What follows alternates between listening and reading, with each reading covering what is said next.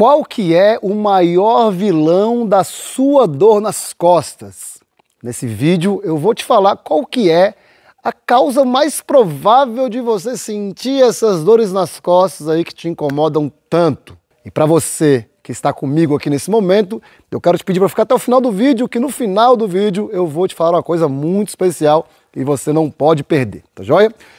Antes de começar, eu quero te lembrar que eu sou Davi Stemler, eu sou especializado em patologias, dores crônicas e lesões, e eu tenho um canal no YouTube que é para falar sobre esse tema, relacionados a dores nas costas, dor no joelho, dor na lombar, mobilidade de ombro, tornozelo, né, patologias em geral, dor crônica, enfim.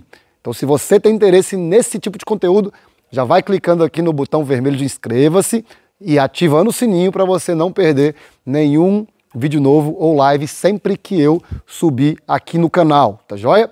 Muito bem, pessoal, então eu vou te falar agora qual que é o maior vilão das dores nas costas da sociedade moderna, sua e de 80% da população mundial.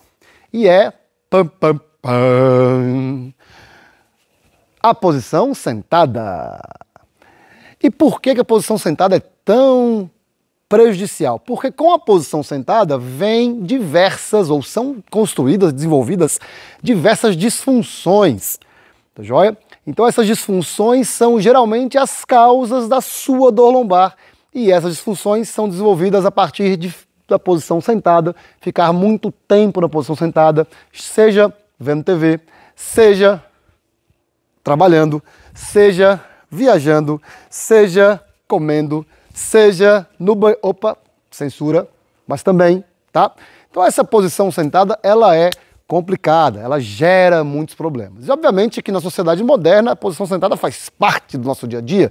Não tem como a gente excluir a posição sentada para sempre. Você não vai ver TV em pé, você não vai comer em pé, você não vai trabalhar em pé, você não vai viajar em pé, não vai ter como fazer isso. Mas é possível fazer coisas que podem ah, evitar ou combater essas dores nas costas que você sente, combater essas disfunções que causam as dores nas costas que você. Ai.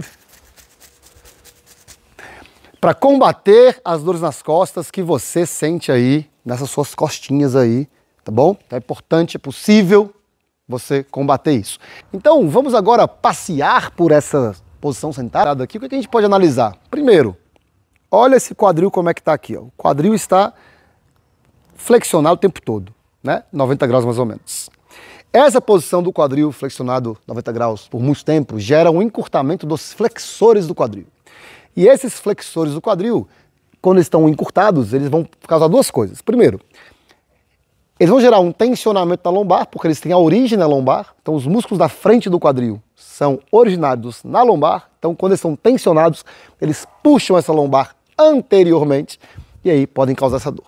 E também, pelo fato de eles estarem encurtadinhos, eles vão causar uma desativação dos glúteos.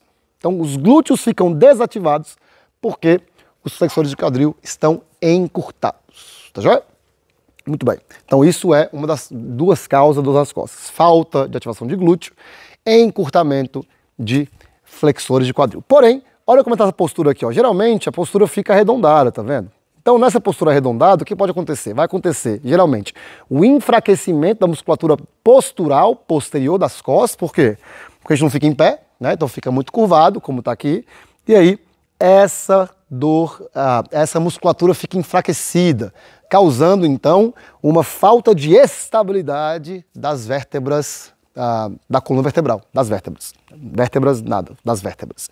Ah, e isso também pode gerar uma dor pela instabilidade, excesso de atrito, né? excesso de contato das estruturas periarticulares. Bom, muito bem. Nessa posição também vai causar o quê? Vai causar aqui uma, um encurtamento dos isquiotibiais, que é a musculatura aqui atrás da coxa. Então eles também ficam encurtados. E olha o nome, isquiotibiais, porque eles começam nos isquios. Começam nos isquios aqui e eles vão, quando estão tensionados, eles causam uma tensão inferior nos isquios. Quando faz essa, essa, essa tração inferior, gera também uma tensão na lombar, na sacroiliaca, na lombar, que aí também pode gerar uma dor por tensão, por falta de, uh, de organização articular, pelo movimento feito com essa musculatura toda organizada. Aí, isso fica tudo desorganizado, isso por si só já pode causar dor nas costas. Porém, contudo, entretanto, todavia, não satisfeito com tudo isso, a pessoa ainda vai fazer, vai malhar, vai fazer esporte. Então você imagina essa pessoa que vai fazer esporte, vai malhar, vai pegar peso, com esse corpo todo desorganizado. Qual que é a chance de dar certo isso, gente? Nenhuma. Então é por isso que você precisa fazer um programa de exercícios para se corrigir ou combater esses malefícios da postura sentada. E agora, para você que ficou até o final do vídeo, tem uma coisa muito importante que eu quero te falar. Se você está passando por esse momento, se você tem isso nas costas, se você tem dor nas costas, fala comigo aqui nos comentários, aqui embaixo, tá bom? Ou me procura na minha rede social, ou vai no meu website e fala comigo porque eu posso te ajudar, assim como eu ajudei centenas de pessoas que me procuraram para eliminar as dores nas costas, tá bom? Então vai lá no meu perfil no Instagram, que é Davi Stemler Treinador, tá aqui embaixo no, na descrição. Ou então vai no meu, no meu website, que é www, www, que é antigo, vai saber desse vídeo aí, www www.davistemler.com.br. Também fala comigo lá e a gente bate um papo muito legal, porque para você que está me assistindo agora, o código é dor na coluna. E se você falar comigo com esse código, você vai ter 20% off na consultoria. Beleza? Então, se você está me vendo agora, o código é dor na coluna e você fala comigo lá, ou no website, ou no Instagram, e você tem 20% off na sua consultoria. Joia? Muito bem, pessoal. Então, como eu estava falando, você tem que ter esse cuidado. E aí, além de você trabalhar essas disfunções, você também tem que fazer o quê? Também trabalhar outras coisas também. Né? Mobilidade de tornozelo, vou deixar aqui o link do vídeo para você ver sobre mobilidade de tornozelo. Mobilidade de quadril, vou ver aqui, você ver também aqui, mobilidade de quadril. E alongamento dos discos tibiais, está aqui para você ver, dos discos tibiais, tá bom? Dor na lombar aqui pelo alongamento de glúteo, está aqui também. Então, gente, Vejam os vídeos, tá? Se, se informem, se inscrevam no canal porque eu posto vídeo direto sobre isso, para você não perder nada disso, tá bom? Então é muito legal ter você comigo aqui. Aqui, ó, várias playlists para você, tá aparecendo aqui para você, tá bom? E eu vejo você no próximo vídeo. Valeu, assiste!